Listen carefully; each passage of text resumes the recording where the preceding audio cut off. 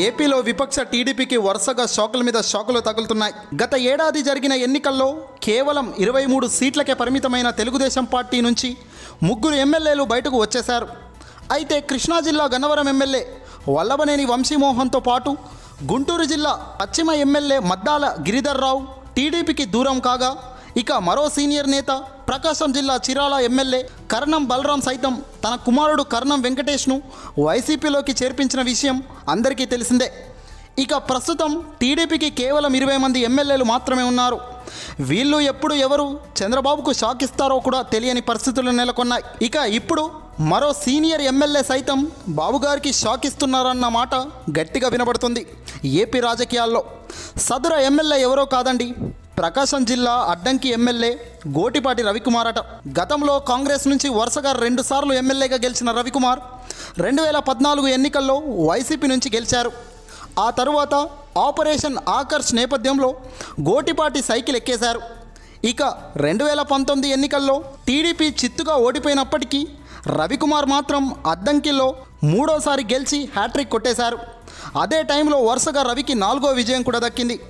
ఇప్పుడు ప్రకాశం జిల్లాలో ఉన్న అందరి ఎమ్మెల్యేలోనూ ఓటమి అనేది లేకుండా నాలుగు సార్లు గెలిచిన ఏకైక ఎమ్మెల్యేగా రవికుమార్ ఉన్నారు.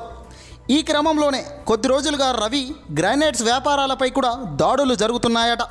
జిల్లాకే చెందిన మంత్రి బాలినేని ద్వారా రవి ఈ విషయంలో ఇప్పటికే అయితే కాస్త ఉపశమనం పొందినట్టు తెలుస్తుంది. అయితే రేపో మాపో రవి వైసీపీ గూటికి చేరేందుకు సిద్ధమవుతున్నట్టుగా వార్తలు వినబడుతున్నాయి. అయితే ఆయన రాజకీయ ప్రత్యర్థిగా ఉన్న కరణం బలరాం కూడా వైసీపీలోనే ఉన్నారు. మరి ఇప్పుడు రవి ఈ విషయంలో ఎలాంటి డిసిషన్ తీసుకుంటారు అన్నది రాజకీయాల్లో ఆసక్తిగా మారింది. ప్రత్యర్థిగా ఉన్న కర్ణం బలరాం ఎదుట రవికుమార్ నిలబడతాడా? నిలబడితే ఆ సీన్ ఎలా ఉంటుంది అన్న కోణంలో ఏపీ ప్రజలు భావిస్తున్నారు. అయితే ఇదిలా ఉండగా సరిగ్గా రాబోయే కొద్ది రోజుల్లో టీడీపీకి షాకుల పర్వం మొదలయ్యే అవకాశం కనబడుతుంది. ప్రస్తుతం చంద్రబాబు హైదరాబాద్లో ఉన్నారు. కరోనా ఎఫెక్ట్తో ఆయన ఆయన కుమారుడు ఇద్దరు కలిసి హైదరాబాద్లో నివసిస్తున్నారు. అయితే ప్రభుత్వంపై చిల్లర రాజకీయాలు చేస్తూ కరోనా టైంలో కూడా బ్యాడ్ నేమ్ తెచ్చుకుంటున్నట్టు తెలుస్తుంది. బాబుగారు సాధారణంగా ప్రత్యర్థులు ఇలాంటి సమయంలోనే అలర్ట్గా ఉండాలి. కరోనా లాంటి అతి భయంకరమైన సమయంలో ప్రజలకు ధైర్యం చెబుతూ ముందుకు నడవాల్సిన పరిస్థితి ఉంది. అటు రాష్ట్ర ప్రభుత్వానికి సైతం రాజకీయాలు పక్కన పెట్టి అండగా ఉండాలి. కానీ ప్రత్యర్థిగా చంద్రబాబు ఏం చేశారు? జగన్ గారిపై విమర్శలు చేశారు.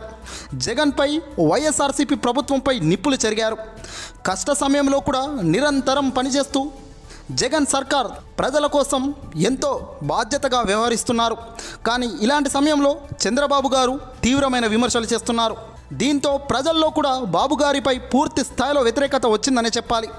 ఒక మాజీ ముఖ్యమంత్రిగా చంద్రబాబు నలభై ఏళ్ళ అనుభవం అంటూ చెబుతుంటారు కదా. మరి ఆ అనుభవం అంతా కూడా ఇప్పుడు ఎక్కడికి వెళ్ళింది? ఇలాంటి విపత్కర సమయంలో అనుభవాన్ని రంగరించాలి కదా. అయితే పనికి వచ్చే మంచి పనులకు ఆ అనుభవం అసలు పనికిరాదు అంటున్నారు కొందరు విశ్లేషకులు. పనికిరాని దానికే అనుభవాన్ని రంగరిస్తుంటారు అని కామెంట్లు పెడుతున్నారు. ఏది ఏమైనప్పటికీ ఏపీ ప్రజల్లో మాత్రం బాబు గారిపై తీవ్రమైన వ్యతిరేకత ఉంది.